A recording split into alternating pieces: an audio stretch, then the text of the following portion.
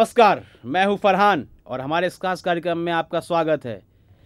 किस तरह जब सरकार आई थी तो कहती थी कि नारी का नारी का बचाव करना है, शिक्षा के स्तर को बढ़ाना है नारियों के लिए, और लगातार हम विज्ञापनों में देख रहे थे, बहुत हुआ नारी पे अत्याचार, अब की बार भाजपा सरकार, बहुत हुआ नारी पे अत्याचार, अब की बार मोदी सरकार।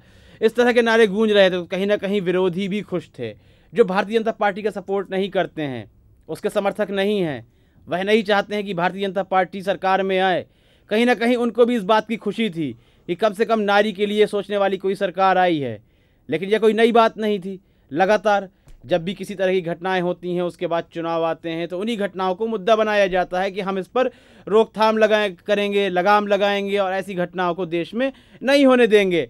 यही भारतीय जनता पार्टी ने किया। विकास के नाम पर आई और नारी अहम मुद्दा रहा, जिस तरह दामिनी कांड हुआ दिल्ली के अंदर। बहुत ही एक मैं कहता हूँ निंदा निंदा करने लायक घटना थी। देश विदेश में हर जगह इस बात का प्रसार प्रसार हो गया। और भारतीय जनता पार्टी ने इस बात को भी कहा कि नारी की सुर, नारी सुरक्षित महसूस नहीं करी कर रही है केंद्र कांग्रेस सरकार में। और हम कहीं ना कहीं इस पर रोकथाम लगाएँगे लेकिन भाजपा सरकार आती है। क्या हुआ नारी के लिए? कुछ भी नहीं। चाहे आप कठुआ केस देखें। और लगातार तब से ऐसा नहीं है कि दामिनी वाले केस के बाद अपराधी शांत हो गए हों। सरकार इतनी सख्त हो गई, प्रशासन सख्त हो गया, बिल्कुल नहीं। उससे भी बड़े बड़े आरोप लगाए गए हैं, उससे बड़ी बड़ी घटनाएँ हुई हैं देश के अंदर, बलात्कार को लेकर। इस पर अब तक लगाम नहीं लगाई गई। और बड़ी बड़ी बातें तो बहुत हो चुकी हमने यह भी देखा कि अभी मौजूदा जो हैदराबाद में बलात्कार की घटना को अंजाम दिया गया, उसमें सामूहिक बलात्कार कहूँगा, चार लोग शामिल थे। उसे भी कहीं ना कहीं उस पर रोकथाम या उस पर किसी प्रकार का कानून सख्त करने के लिए और वहाँ पर उसमें भी धर्म की राजनीति भारतीय जनता पार्टी ने बीच में डाल दी। जहाँ पर जिस एक बलात्कार ऐसा आरोप है कि जिसमें कोई भी समुदाय बर्दाश्त नहीं करता है, उसके समुदाय का यदि व्यक्ति उस कांड में शामिल है तो कोई भी समर्थन के लिए नहीं उतरता है, चाहे हिंदू हो, मुस्लिम या सिख या ईसाई, कोई भी हो, उस आज तक हिंदुस्तान में बलात्कारी हो या फिर किसी अन्य तरह का जघन्य अपराध हो, जघन्य अपराधों वाले, अपराध करने वालों का सपोर्ट करने कोई नहीं उतरता है, लेकिन हमने देखा कठुआ वाले केस में, जिसमें आठ साल की बच्ची के साथ सामूहिक बलात्कार हुआ था।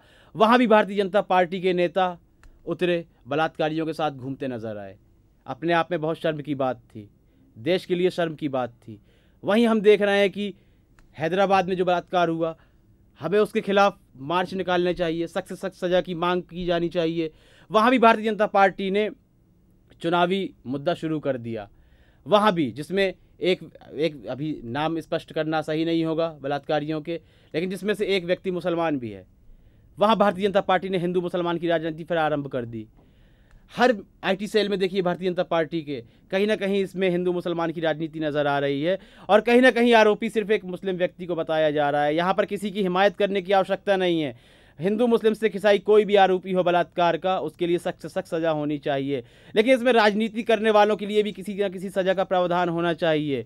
यदि कोई बलात्कार को लेकर, जघन्य अपराधों को लेकर के हिमायत करता है, उसके साथ खड़ा होता है तो उसके लिए भी कोई ना कोई प्रावधान होना चाहिए न्यायालय द्वारा। आपकी इस संबंध में क्या राय है? क्या भारतीय जनता पार्टी इस बलात्कार को चुनावी मुद्दा बना रही है?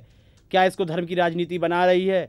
क्या ऐसे लोगों का किस का समर्थन करने वाले, ऐसे लोगों के साथ खड़े होने वाले लोगों के लिए कोई प्रावधान होना चाहिए, सख्त सख्त प्रावधान होना चाहिए। इस संबंध में अपनी राय हमें अवश्य दें। यदि कार्यक्रम पसंद आ रहा है तो लाइक करें, शेयर करें और चैनल को सब्सक्राइब अवश्य करें। तब तक के लिए इजाज़त चाहूँगा। नमस्कार।